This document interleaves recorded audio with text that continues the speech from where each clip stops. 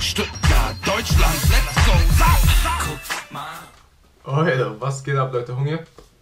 Heute erstmal Werbung, weil das ist so das Abschlussvideo vom Event, also nicht vom Event, von der Deutschland-Tour. Ja. Und Orki hatte mir für die Tour ein paar Sachen geschickt, gesponsert. Unter anderem eben diese krasse Powerbank. Link ist unten in der Beschreibung zu allen Artikeln.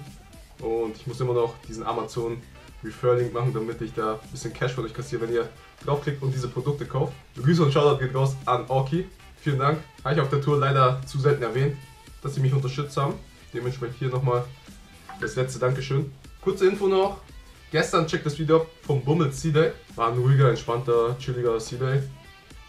Hatte meinen Spaß, war natürlich nicht der beste und es gab diese Probleme. Niantic hat sich jetzt gemeldet und gesagt, das C-Day wird wiederholt. Irgendwann im Sommer, man weiß noch nicht genau wann. Aber die Entschädigung, wir kriegen eine Entschädigung. Das ist schon mal die erste Überraschung. Der C-Day wird einfach wiederholt. Oder zumindest haben die gesagt, dass Bummels wiederkommt. Aber checkt das Video ab. Habe ich gestern Abend noch hochgeladen nach dem C-Day und da könnt ihr dann euer Fazit, eure Ausbeute kommentieren. Dementsprechend habe ich für heute jetzt Sonntag kein Video, weil ich das ja von Samstag direkt am Samstag noch hochgeladen habe. Perfekte Zeit, perfektes Timing für das Abschlussvideo von der Deutschland-Tour. Wer sich so für die Statistik und sowas interessiert, der kann das Video von vor ein paar Tagen abchecken. Da wo ich meinen 100er Cotton aus der Questbild gezogen habe. Da habe ich die Statistiken vergleicht.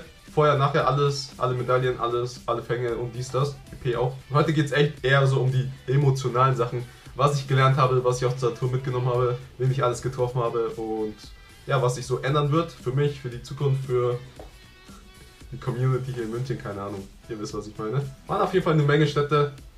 Nochmal Shoutout an Rostock, tut mir leid, dass ich euch übersprungen habe, aber das Finion-Event, was natürlich, äh, ja, war trotzdem lustig. Also, Staub hat gefehlt, der Bonus, keine Ahnung, was da los war, aber war trotzdem ein cooles Event und dann direkt danach Hamburg, C-Day. Werde ich auf jeden Fall für immer in meinen Erinnerungen halten. Und nochmal Grüße, Grüße gehen raus an alle, die ich da kennengelernt habe auf der Tour. Ja, was habe ich so mitgenommen? Also zum einen, dass München zum Beispiel sehr teuer ist. Es gibt halt diesen neuen, was heißt neu, aber es gibt diesen krassen Döner. Ich habe in vielen Städten Döner gegessen, ich habe euch nicht alle gezeigt und manche habe ich nur gegessen, weil ich Hunger hatte und manche habe ich halt gegessen, weil die mir empfohlen wurden. Aber im Großen und Ganzen war kein Döner dabei, wo ich sage, boah, war der krass. Also mein Lieblingsdöner ist immer noch hier in München. Aber zum Beispiel in Berlin, Mustafas Kebab, Gemüsedöner, bla bla, 3,50 hat der gekostet. Dieselbe Kette, die momentan so gehypt ist, hier in München, da wo immer Schlange ist am Stachus, einer der Top 3, Top 2 sogar, für mich und Tati. 75, Mann. Alter, den Döner werde ich mir nie wieder kaufen. 75. Im Gegensatz zu 3,50, das ist einfach so dreist. Spielerisch habe ich natürlich auch eine Menge mitgenommen. Eine der ersten Sachen, Shinies. Der Shiny Hype war doch recht groß. Und wo ich so mit den anderen Spielern aus den anderen Städten und Communities abgegangen habe. Die waren alle sehr shiny geil. Und diese shiny Geilheit ist ein bisschen auf mich abgefärbt. Wo ich mir dann dachte, okay, wenn ich nach Hause komme, werde ich mich da schon ein bisschen mehr auf shiny konzentrieren, weil eigentlich war ich so, ist geil, wenn ich einen bekomme. Aber wenn ich keinen bekomme, ja, mai, kann man nichts dagegen machen.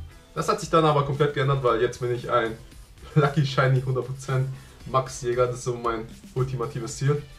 Einfach jedes Pokémon jetzt auf Shiny Max 100%. Diese 100% geht natürlich nur, wenn man irgendwann die IVs pushen kann. Das ist eine Theorie von mir, dass es irgendwann kommen wird. Ansonsten halt nur Lucky Shiny Max. Allgemein hat die Tour mich sehr motiviert. Viele haben gesagt, boah, Hong, nach dieser Tour gönnst du dir doch wahrscheinlich richtig lange heftig Pokémon Go Pause. Aber nee, nach der Tour war ich eigentlich ziemlich, ziemlich gehypt, ziemlich motiviert. Das Feuer wurde, war auf jeden Fall am Lodern. Ich habe sehr aktive Spieler getroffen, sehr coole Communities, sehr coole äh, Gruppen. Die sind nicht nur sehr aktiv, die sind aktiver als München. München, um ehrlich zu sein, ist eigentlich ziemlich schlecht. Ziemlich schwach. Ich will jetzt nicht zu sehr über München herziehen. Ich habe ja die meisten Leute gefragt, wie würden sie ihre Stadt einschätzen. Jetzt, wo ich mir so Gedanken darüber gemacht habe, wie würde ich München einschätzen? Ich würde München eine 3 von 10 geben. Ich meine, von der Location her ist München eigentlich ziemlich krass. Von den Stops, von der Dichte, von den Raids, von den Arenen, eigentlich auch von dem Verkehr und so. Also wir haben hier zwei, drei Busse und Straßenbahnen. Mit denen kannst du zum Beispiel echt geil Stops abfahren in der Innenstadt. Also ist eigentlich sehr gut eigentlich. Wir haben die Innenstadt mit sehr vielen Stops, wir haben Schwabing mit sehr vielen Stops, wir haben drei richtig krasse große Nester, vier, wo wenn da was Gutes äh, als Nestprogramm da ist, da geht sicher was. Zum Beispiel Ostpark, Westpark, Olympiapark und Englischer Garten. Das sind halt vier richtig extrem krasse Nester. Also die Stadt allein, der würde ich 9 von 10 Sterne geben. Oder 8,5 oder irgendwie sowas. Also sehr, sehr gut.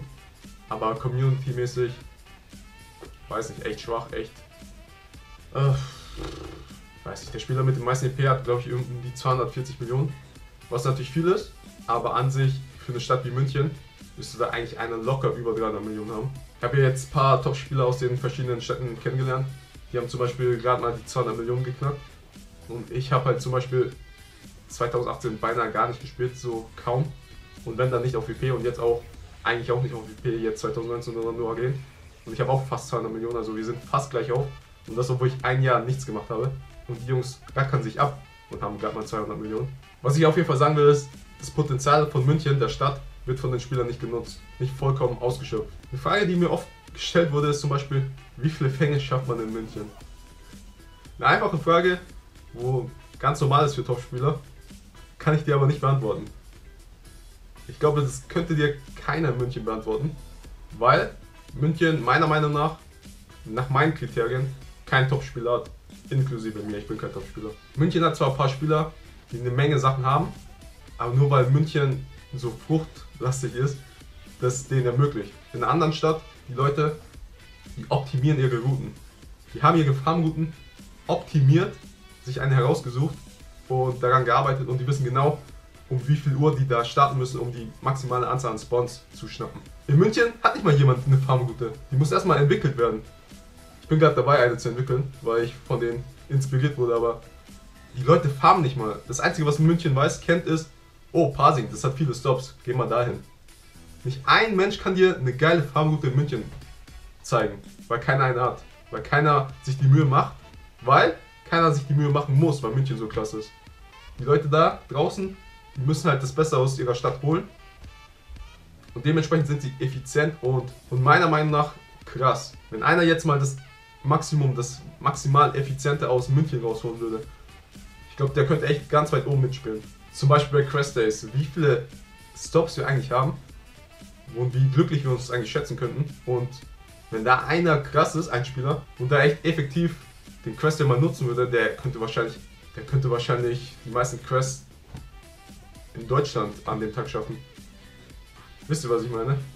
Macht aber keiner aus München. Ich kenne zum Beispiel keinen in München, der noch farmt. Ich kenne keinen in München, der noch aktiv raidet. Ich kenne keinen in München, der questet. Also im Grunde genommen, weiß ich. München ist halt einfach schwach, was so Topspielermäßig angeht. Ähm, ich glaube, da fehlt einfach, da fehlt einfach irgendwas. Ich habe mir überlegt, eine Rangliste zu erstellen für München. So diese monatlichen, die da so ein bisschen das Feuer wecken. Weil München ist da echt abgestorben. Früher war das Konkurrenzdenken echt krass und das Battle und da hat sich jeder gegenseitig hochgepusht. Das gibt es halt schon lange nicht mehr und jeder macht sein eigenes Ding, aber auch nicht wirklich. Kein Ansporn. Und das merkt man halt auch, wenn man das so mit den anderen Städten vergleicht und die Statistik. Und wie gesagt, ich kenn, kann dir eigentlich keinen einzigen Topspieler in München nennen. Keiner, der eine Menge Quests hat, keiner, der eine Menge Arenen hat, keiner, der eine Menge EP hat, keiner, der eine Menge raidet, keiner, der. Keiner einfach. Keiner, der einfach effektiv ist und ja, krass ist. In meinen Augen. Was ich schade finde, weil München ist eine klasse Stadt und da könnten auf jeden Fall ein paar Top-Spieler mitspielen, ganz weit oben. Und ich hoffe, das kann sich irgendwie noch geändert werden. Ein anderer Aspekt, der München so schlecht macht, ist die Technologie. Wir sind so im Mittelalter hängen geblieben, wie wir unsere Raids organisieren, unsere Gruppen, WhatsApp, die ganzen Stadtteile, wie die verteilt sind und wie hängen geblieben die sind auf WhatsApp oder Discord. Ein Teil von München Discord verwendet. Der andere Teil findet Discord schlecht und verwendet immer noch WhatsApp, was natürlich auch schlecht ist. Wir haben nichts Gescheites für Quests, wir haben nichts für Raids, wir haben nix einfach. Und wie gesagt, wenn man zum Beispiel Hannover anschaut, wie fortgeschritten die sind, ja, da muss ich sagen, schäme ich mich für München. Es gibt gute Nachrichten.